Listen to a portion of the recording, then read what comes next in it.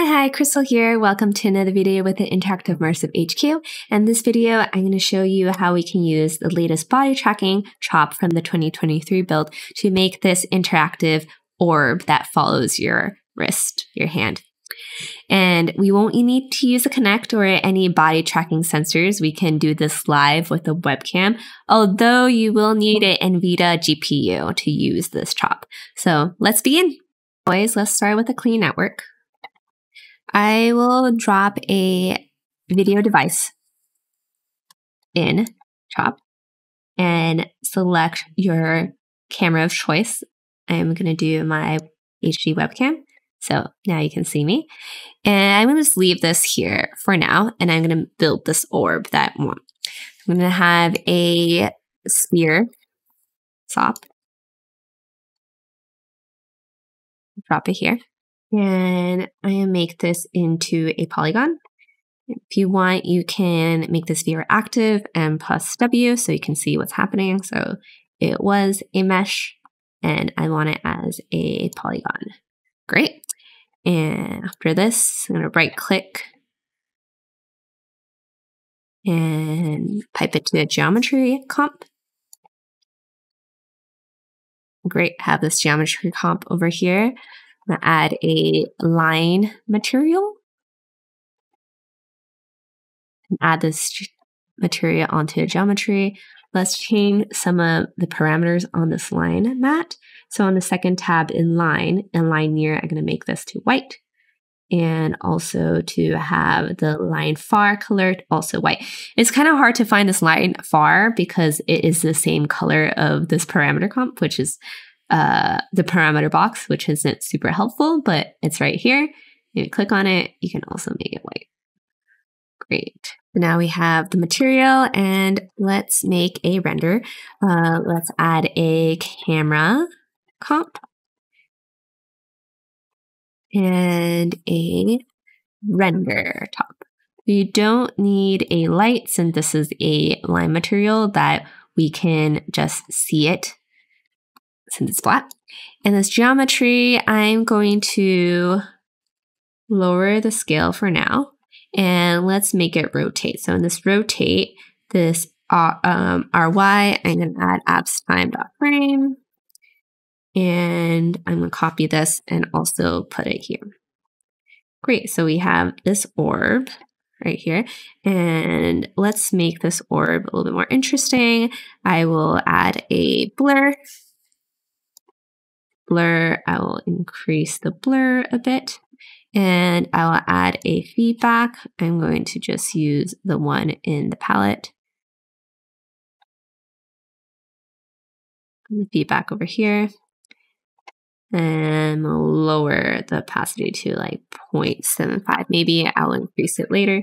And I'm gonna comp this on top of here with a over.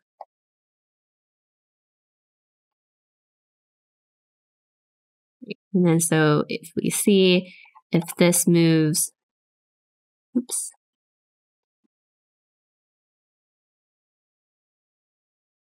you have like a trail that follows, which we want. Great. Add a null after this. And I'll call this out. And this will be our last operator that I'll make it viewer active. So now we have this, but notice my this is my left hand, this is my right hand, so I want to flip it. So this might not be the case for your webcam, but for mine it is. So I'm going to flip this.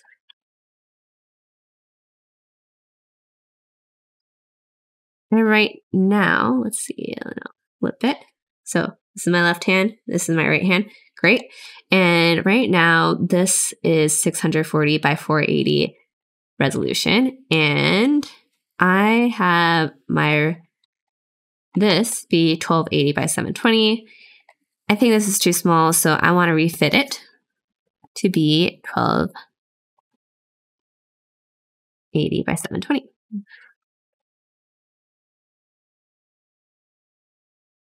And I'll have this to be fit outside. Great. So we have this and this, and we want this to be over this, but I want it to displace over it. So let's add a displacement top. And this displacement top, I'm going to have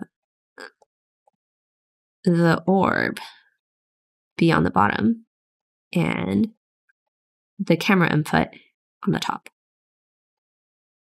And right now you're like, whoa, this is not how I want this to be.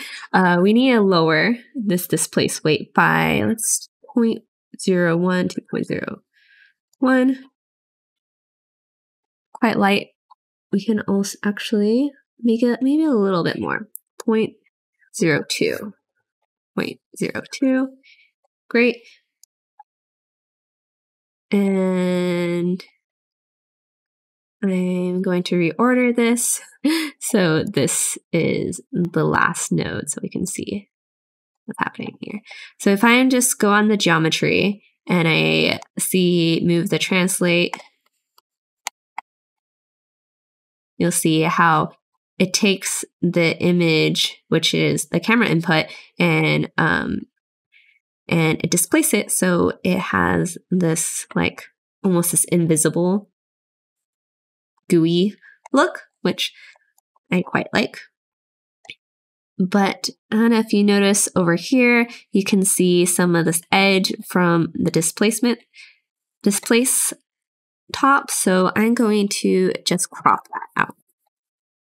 Um, actually, I'm going to add a transform and just zoom us a little bit here. There you go. So now we don't see that anymore. Great. This is the foundation of everything. And now we will add the body tracking chop. So let's put down a body tracking chop. Body track chop. And this is my video input. This is a flip. This is the fit. At the end, this is what I want it to be tracking. So you'll see that it has a error because it doesn't reference anything. So you need to reference a top. So I will just drag this over here. And keep note, a few times when I did the body tracking chop, TouchDesigner crashed. So um, save your file and also play with that. For some reason, when I did this um, before, that whenever I did the video, the top down the chain, it was crashing, but doing the video device input, it was okay. Um, if it crashed, maybe just play with that.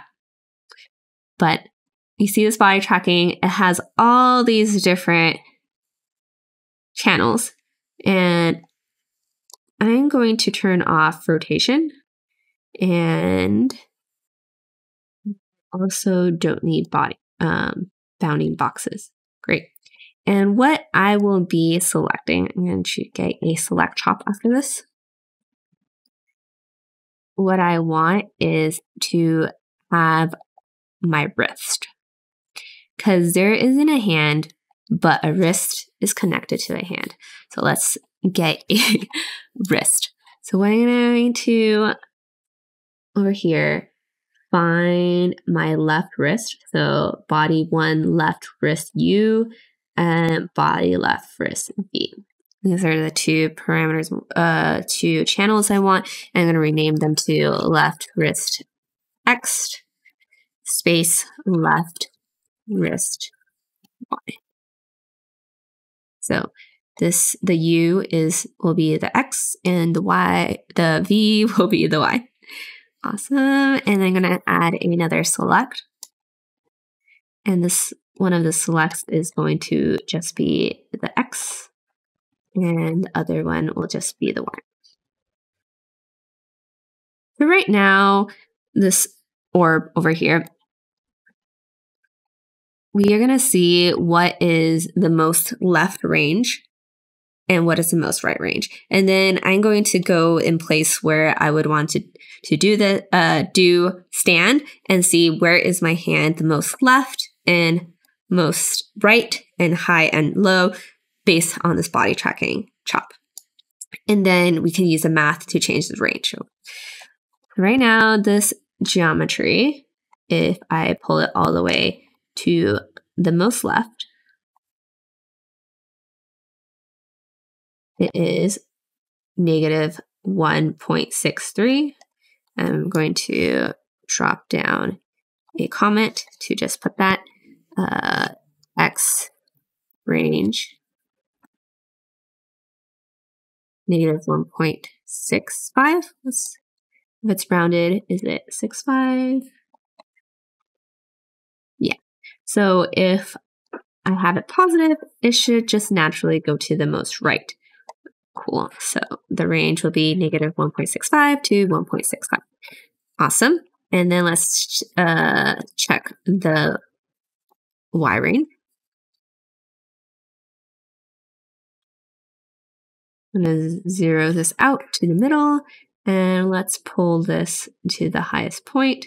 So it seems like it's 0.8 and negative 8. So negative 8 and 8. Great. And let's see what is the lowest and highest of the left wrist. If I go to where Polly would stand and see left.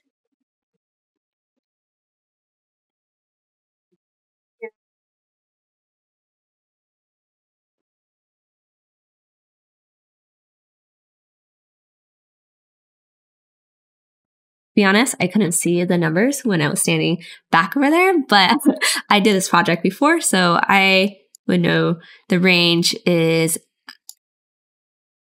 about the x was 0 to 1, but the y was 0.15 to 0.6. So with that, I'm going to move this little note over here. I will add a math chop. And this math chop, I will make it to be 0 to 1 to be negative 1.65 to 1.65. And this might change depending on the test afterwards. And I would assume your range will be different from my range. So this one, I will have the range to be 0.15 to 0.6 and to be negative 0.8 to 0.8. I'll merge these two.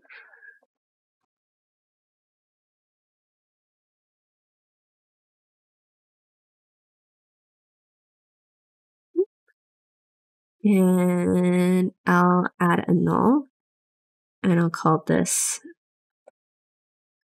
sphere. Great, let's just I'm going to add a filter, but I'm going to show you how it'll look without it, and then you'll understand why we'll add a filter. Um, so I'm going to just drag this X to translate X and translate Y. And it's kind of being all bouncy right now because it, the body tracking does not see any hands. So it's like trying to estimate where it's going to be. So, but if I go back here, it should You see how it's like a buddy? So if we add a filter,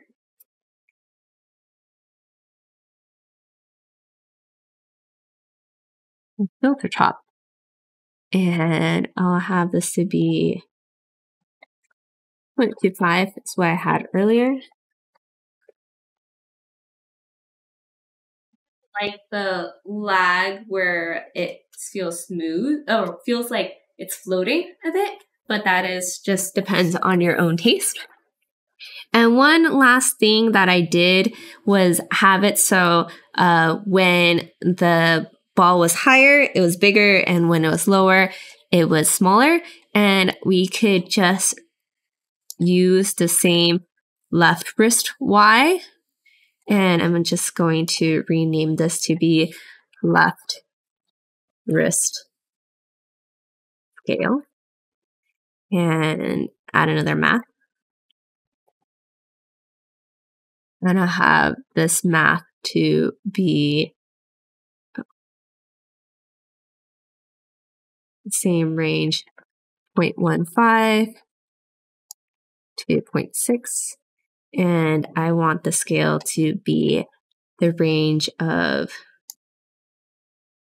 0.15 which is this small to 0.5 which is this big.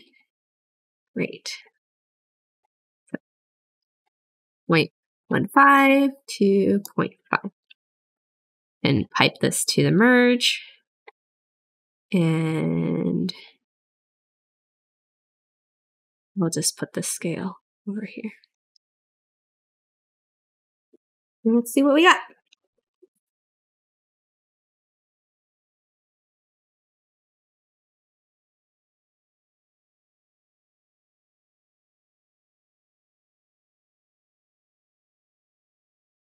Well, thanks for joining. This ball is on my head right now. I'm excited to see the fun projects you do with this. And please remember to tag the Interactive Immersive HQ and also me on any social media that you want to share your work to. I'll leave my handle in the caption below and see you next time. Bye. Hey folks, thanks for watching. If you like our YouTube content, I highly recommend you check out the Interactive and Immersive HQ Pro. The HQ Pro is the only comprehensive educational resource and community for immersive design, TouchDesigner, and creative tech pros. In the HQ Pro trainings, we cover almost any topic you can think of, and we go way more in depth than we do in our YouTube tutorials.